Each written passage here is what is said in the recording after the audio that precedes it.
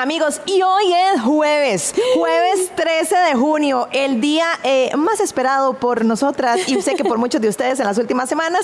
Y esto es porque hoy vamos a dar inicio con el viajero del tiempo, que es una sección en donde vamos a poder conocer eh, mucha de la historia eh, a nivel mundial, en nuestro país, pero de una manera muy interesante, como les hemos venido diciendo a lo largo de estos días, hasta con un poco de fantasía, ¿verdad? Para poderla digerir mejor. Exacto. Es más, profesores de estudios sociales, maestros de escuela, volados. díganle exactamente, pongan a sus alumnos y les dicen, vea, tienen que ponerle mucha atención a la sección El viajero del tiempo. De hecho, vamos a estrenar la sección hablando de la Segunda Guerra Mundial.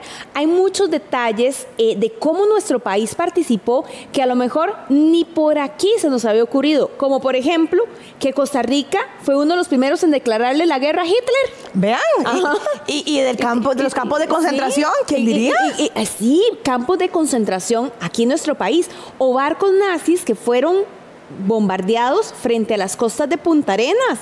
Yo creo que eso nos va a sorprender muchísimo de eh, tan tan pacíficos nosotros aquí, Ajá. ¿verdad? La, la Suiza No. centroamericana, ¿verdad? No, no, no, mire, tuvimos nuestros momentos también en donde eh, nos arrollamos las mangas y íbamos dispuestos también a, a- a combatir contra un ideal de mundo que no compartíamos con Alemania. Pero todo esto lo vamos a aprender de una forma mágica con nuestro compañero Mario Alfaro.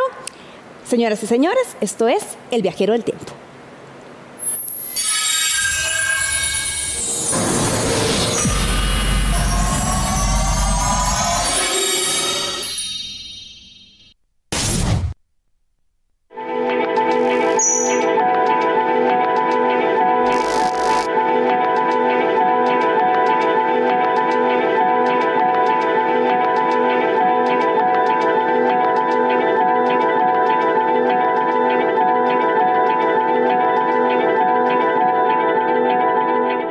Gabriel García Márquez escribió, la vida no es la que uno vivió, sino la que uno recuerda y cómo la recuerda para contarla. Recorreremos todo Costa Rica, viajaremos a través del tiempo para recordar, conocer y aprender de esos personajes y hechos históricos que han dejado huella en nuestro país.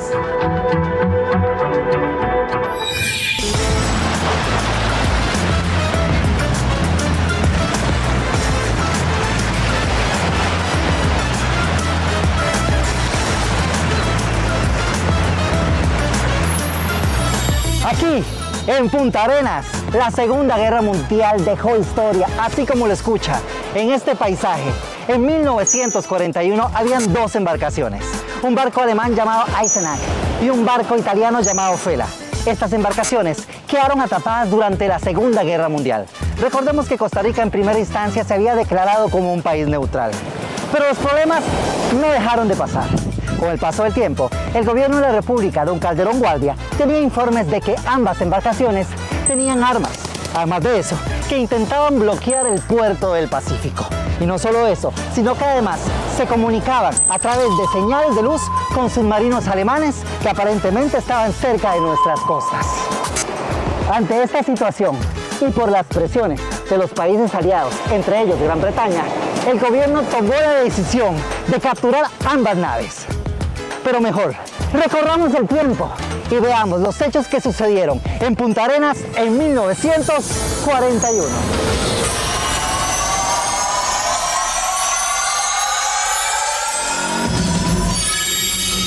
La invasión de Alemania Polonia, el 1 de septiembre de 1939, iba a marcar el inicio de la Segunda Guerra Mundial, uno de los hechos históricos que ha provocado los mayores crímenes contra la humanidad.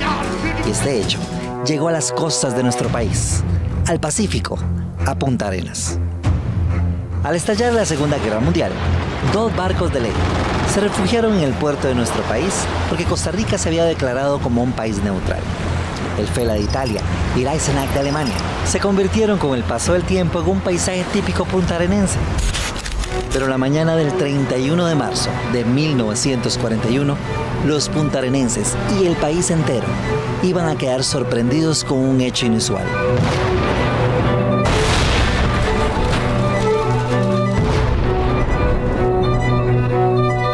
Ambas embarcaciones, el Fela y el Eisenach, se autodestruyeron. Explotaron al mismo tiempo, en el cumplimiento de la orden de Adolfo Hitler de no permitir la captura de ninguno de sus barcos que se encontraran lejos de sus aguas territoriales. Las tripulaciones agarraron los barcos y quemaron todo lo que tenían. Abrieron las vías para que entrara el agua y así se hundieran más rápido las embarcaciones. Mientras ellos cantaban himnos nazis y fascistas, para posteriormente salir a la playa puntarenense nadando en botes. Autoridades no les quedó más remedio que trasladar a todos los alemanes e italianos de las embarcaciones a la penitenciaría central de San José. Posteriormente, durante el juicio, los capitanes de ambos barcos asumieron totalmente la responsabilidad de todo lo acontecido. La historia de estos hechos quedaron plasmados gracias al lente de don Julian Weston, un corresponsal extranjero radicado en nuestro país, que dejó un legado documental de gran valor a la sociedad costarricense. El barco alemán Eisenach llegó a nuestro país el 1 de septiembre de 1939, al mando del capitán Gerhard Lorenz Strock. Este navío fue fabricado en Bremen y tenía una capacidad de 4.177 toneladas. Prácticamente realizaba una ruta entre la India y América del Sur. Llega a nuestro país transportando cemento y maquinaria pesada. Mientras que el barco italiano Fela, a cargo del capitán Gabriel Locatelli Gabrieli, llega a nuestro país el 5 de junio de 1940, con pasajeros, mercadería variada y principalmente bloques de mármol. Un barco con una capacidad de 6.072 toneladas, hacia una ruta entre Italia y el Pacífico estadounidense. La guerra se encontraba en su máximo apogeo y aquí en nuestras costas, este incidente iba a traer consecuencias nefastas. Definitivamente, una nota recibida el 28 de mayo de 1941 establecía, entre otras cosas, que los países del eje iban a tomar represalias contra Costa Rica. Y así fue. El 2 de julio de 1942, el barco bananero San Pablo, que estaba anclado en el muelle de Limón, aparentemente fue torpedeado por un submarino nazi, ocasionando la muerte de 24 costarricenses. Al día siguiente del ataque, se detuvieron en su mayoría los alemanes, descendientes, algunos italianos, españoles y japoneses. En la capital se construyeron dos campos de detención, en donde se les encerró y posteriormente se les expulsó del país a un campo de detención en los Estados Unidos. Nos encontramos en los restos del Fela, el barco que se autodestruyó durante la Segunda Guerra Mundial. ¿Pero qué pasó con el barco alemán? Bueno, una empresa norteamericana lo rescató en noviembre de 1941. Nuestro periodista Waston se hizo presente. Sus fotos le dieron la vuelta al mundo. Periódicos y revistas publicaban el rescate del barco nazi en Costa Rica. En la actualidad, en Punta Arenas, esta es una visita turística obligatoria.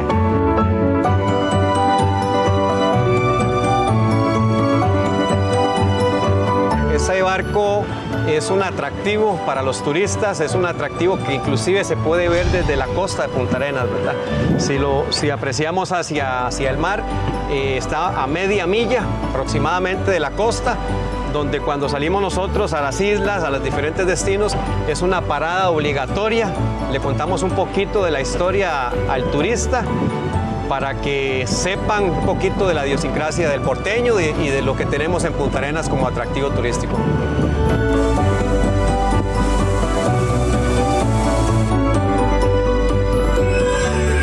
Las presiones de los alemanes fueron tantas que obligaron al gobierno de Calderón Guardia a terminar rotundamente con la política de neutralidad que hasta ese entonces abrigaba Costa Rica.